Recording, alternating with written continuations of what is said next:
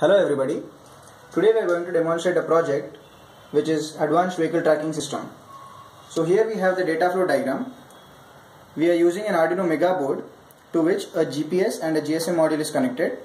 The purpose of a GPS module is to give the latitude and longitude values which are taken by the Arduino Mega board and they are uploaded through GPRS using a GSM module to the server.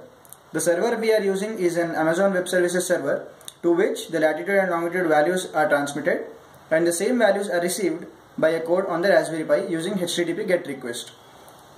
So this is the hardware for this project. We are having an Arduino Mega board to which a GPS module is connected and a GSM module is connected. Both are transmitted using a serial communication and the data is taken into the Arduino board and it is uploaded using the GSM module. We are also having a Raspberry Pi which is configured uh, to the router using a Wi-Fi and uh, the basic aim of this project is whenever the data from the GPS module is coming to the Arduino it is sent to the server. And the same data is received by the Raspberry Pi. And we have written a code on the Raspberry Pi such that the data is uploaded onto a Google map which can be seen here. So you can see that we are having advanced vehicle tracking system using GPRS and you can see that the location of our office is being pointed over here which is located in Dilsukh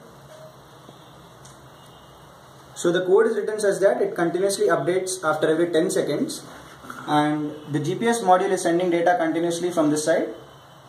So whatever the updated data is there it can be seen onto the Google Maps.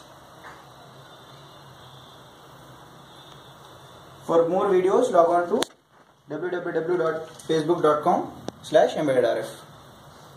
Thank you.